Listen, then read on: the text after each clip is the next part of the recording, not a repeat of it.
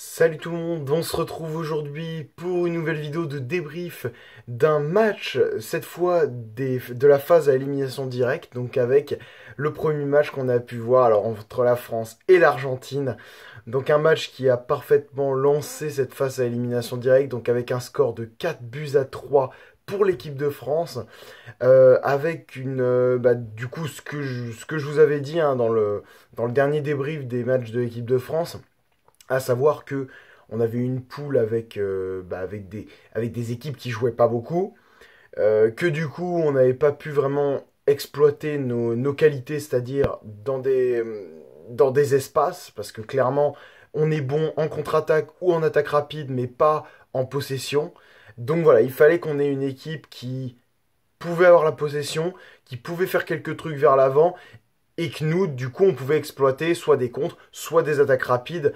Euh, donc, ce qu'on a fait parfaitement dans le match. Donc, avec euh, donc très rapidement euh, de nombreuses actions pour l'équipe de France, notamment un, coup franc de Griezmann, donc suite à suite à une faute, une faute juste avant la surface de, des Argentins. Ensuite un penalty, donc que Griezmann transforme, mais surtout avec une énorme accélération de Mbappé. Euh, qui du coup bah, nous lance parfaitement dans le match. Euh, une accélération vraiment folle et du coup voilà on voyait vraiment là c'était clairement de la contre-attaque. Euh, alors ils, ont su parfaitement exploiter soit des contre-attaques, soit des attaques rapides, comme on l'avait pu le voir sur le quatrième but par exemple.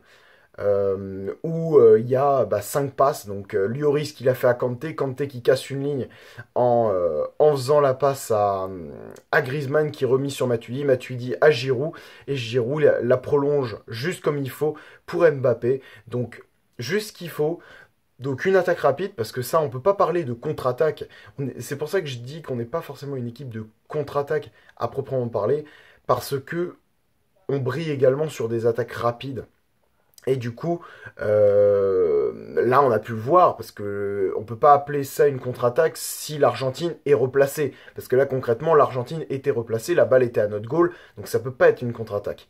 Euh, mais du coup, on a quand même pu euh, être fort en contre-attaque et on a pu voir également qu'on a su marquer sur des phases où l'Argentine était plutôt bien en défense. Par exemple, sur euh, la passe de Matuidi qui casse complètement, enfin qui sur suite à l'appel de d'Hernandez, donc sur le deuxième but, qui casse complètement euh, une ou deux lignes et qui du coup permet à Hernandez de faire un centre qui passe au travers de la défense et que Pavard peut récupérer pour faire une, une, une reprise de volée claquée et brossée, vraiment magnifique. Donc euh, vraiment un but, euh, un but magistral, euh, donc qui restera en tout cas dans, l'histoire de cette Coupe du Monde en Russie. Et du coup, entre-temps, on a eu donc un petit but de Mbappé en plus, donc sur pareil une attaque, une attaque placée, hein, donc avec, avec énormément d'Argentins en défense. Donc ça, on peut pas appeler ça une contre-attaque parce que, pareil, c'est même pas une attaque rapide, c'est une attaque placée parce que, voilà, c'est une passe de Pogba qui, euh, qui permet à Hernandez de faire un centre. Le centre qui est repris par Matuidi, Matuidi qui la, reprend en première intention, mais qui, ça revient sur Mbappé. Mbappé qui fait un, très bon, euh, un très bon crochet. Et c'est là qu'on peut voir que euh, la défense argentine est vraiment très lente et pas vive du tout. En fait, pas vraiment lente, mais qui manquait de vivacité, parce qu'on voit clairement que euh, sur l'image, sur le crochet de, Mbappé, déjà lui est très rapide, mais en plus la défense argentine est complètement statique, et c'est ce qui fait vraiment un énorme décalage en termes de, bah, de vivacité et de rapidité en fait. Donc voilà, ça a été un peu euh, tout, toute la... Toute, tout le, tout le film du match en fait. Euh, une équipe de France qui a été plus rapide, qui a su exploiter les faiblesses de l'adversaire en termes de vivacité et de rapidité. Et euh, bah, l'équipe de France qui, quand même a pris trois buts, donc un sur une, euh, sur une, sur une frappe de Di Maria où personne ne l'attaque, donc il peut frapper tranquillement voilà, c'est une faute. Enfin, ça, c'est plus une faute d'équipe parce que concrètement, les attaquants auraient pu revenir pour le. Enfin, voilà, faut, faut être mieux placé. C'est une un problème de placement. Euh, y a... Je sais pas s'il y avait un joueur attitré pour, pour, prendre, pour prendre Di Maria là, mais en tout cas, il fallait quelqu'un. Personne n'y a été et du coup, il a pu frapper. Et on sait que Di Maria, sur un geste ou deux, il peut faire des merveilles, même si euh, il est moins bon qu'auparavant. Ensuite, on a vu donc euh, un but totalement anodin donc sur la frappe de Messi qui est, euh, détourné par, par Mercado. Donc ça, c'est malheureux. Et le dernier but, parce qu'on s'est relâché, hein. c'est bien d'ailleurs, il a fait rentrer, euh, il a fait rentrer Florian Thauvin, c'est très très bien. parce que déjà contre le Danemark, je trouvais ça un peu absurde qu'il ne l'ait pas fait rentrer, étant donné qu'on était vraiment en mode gestion pendant 90 minutes, clairement. Donc euh, je trouvais ça un petit peu dommage. C'est vrai qu'il aurait pu le faire rentrer un petit peu plus tôt, euh, mais bon, au moins il lui aura fait jouer un petit peu, même s'il n'a pas touché beaucoup de ballons. S'il peut le faire rentrer encore une ou deux fois dans la, compétition. Euh, après, voilà, à voir si on arrive à se mettre, à, se mettre à l'abri comme ça. Contre les Uruguayens, ça va être compliqué parce que du coup, comme vous avez pu le voir, c'est les Uruguayens qui ont gagné donc contre les Portugais. Et du coup, on en parlera dans, euh, dans le prochain débrief, donc dans le débrief qui, euh, qui, sort en même temps que cette vidéo d'ailleurs, que je vais tourner juste après. Euh, sinon, dans le contenu du match, donc, en termes d'Argentin, on va dire que Messi a pas fait grand-chose parce qu'il a bien été muselé par Kante et Matuidi qui étaient du coup en soutien sur ce côté gauche du milieu français, enfin même qui était censé être ailier gauche, mais bon, qui faisait office de troisième milieu. Mbappé était pas vraiment à la droite. En fait, ça faisait plus un 4-3, un 4-3-3 avec trois attaquants vraiment. Enfin, pas trois, pas deux ailiers et un de pointe, vraiment trois attaquants. Euh, du coup, voilà, on a eu euh, un, très bon travail de côté de, de Kanté Matuidi. Messi est très très peu passé. La seule action vraiment hyper euh, intéressante qui fait du match, c'est euh, bah, la fin, hein, la, passe, la super passe pour Agüero. Mais sinon, il n'y a pas eu grand chose d'autre euh, dans le match à se mettre sous la dent. Donc Messi qui quitte la Coupe du Monde sur ça. Euh, un peu, bah pareil que Ronaldo d'ailleurs, hein, mais on en parlera dans l'autre débrief. Euh, au niveau de l'équipe de France, donc voilà, Kanté, Matuidi ont parfaitement rempli leur rôle. Pogba était très irrégulier, mais euh, bah, voilà, est capable de, de fulgurance et de gestes de classe, notamment la transversale qui, qui amène le coup franc justement qu'après il a mal tiré par contre. mais en tout cas, une transversale qui a permis à Mbappé de s'échapper et qui a fait que Tagliafico a dû l'arrêter et du coup concéder le coup franc. Il est capable d'énormément de bonnes choses.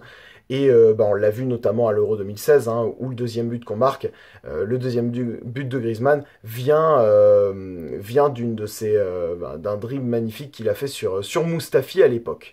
voilà, ensuite en défense, bah, Hernandez Pavard. Moi, ça me convient totalement parce que moi, personnellement, je préfère les latéraux plutôt défensif, plutôt défensif, mais qui n'hésite pas quand même à monter. Euh, un latéral qui s'assoit quand même sur euh, un côté défensif intéressant et qui peut apporter sur 2, 3, 4 actions dans le match, mais qui va pas passer son temps à le faire non plus. Et moi je trouve ça plus intéressant parce que voilà, on est plus safe derrière, les, euh, les défenseurs centraux sont pas abandonnés par les latéraux et en plus de ça, bah, quand il s'attaque, on l'a vu par exemple pour Hernandez, donc deux buts qui viennent de son côté, dont une passe décisive, et Pavard à un moment qui, donc déjà qui marque, et en plus de, ça, une fois euh, vers, la, fin du match à peu près, qui a fait une grosse une grosse accélération et qui a permis euh, de gagner un coup franc. Voilà, donc au niveau des latéraux, très bien. Après Pavard, attention quand même, parce que c'est vrai qu'il a, il a fait quelques fautes et il s'est fait euh, avoir deux trois fois par Di Maria après que Di Maria ait pris euh, du galon dans ce match après son but. Euh, voilà, après la défense centrale, parfait. Ça m'a, voilà, ils n'ont pas fait d'erreur individuelle, ils ont été plutôt solides. Lloris, il peut pas faire grand chose sur les buts, même si euh, à ce niveau-là de compétition, on va attendre de lui et on va attendre d'un gardien de classe mondiale qui puisse nous faire des arrêts de classe mondiale, c'est-à-dire des arrêts qu'on ne peut pas attendre, qui normalement ne seraient pas euh, presque humains, mais euh, qui devraient nous sortir. Et malheureusement, il nous en sort pas des arrêts comme ça. Il va falloir qu'il nous en sorte parce qu'avec un avec qui peut nous sortir des arrêts comme ça, on peut aller loin dans la compétition. Sans ça, ça va être compliqué. Euh, après en attaque, bah voilà, Giroud, Griezmann ont plus été à la construction du jeu. Giroud a été beaucoup coupable de fautes qui selon moi étaient un petit peu euh, un petit peu euh, voilà c'est un petit peu dommage que l'arbitre les parce qu'en soi Giroud joue avec son corps mais en soi il fait pas forcément faute tout le temps ok il y a des fois il, il fait faute clairement mais d'autres d'autres non et c'est vrai que l'arbitre avait tendance à tout le temps siffler c'était un peu dommage euh, et après, voilà, que dire de Mbappé qui fait un match euh, magnifique avec un penalty euh, concédé et deux buts. Voilà, on, retrouve le Mbappé de Monaco, donc, donc parfait. Moi, Génial, je peux, je peux rien dire de plus, génial.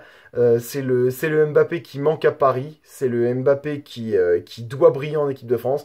Et c'est ce Mbappé-là qui peut nous faire aller loin dans cette Coupe du Monde, si ce n'est la gagner. Voilà, bah, n'hésitez pas en tout cas à me dire ce que vous avez pensé de ce match, de ce que je vous ai dit dans cette vidéo. Et n'hésitez pas également à vous abonner si ce n'est pas déjà fait, à suivre toutes mes autres vidéos de débrief parce que maintenant je ferai une vidéo par match, étant donné qu'en théorie je vais tout regarder euh, à partir de ce moment. S'il y a des matchs que je loupe, j'essaierai de vraiment regarder et me m'attarder sur ces, sur ces matchs.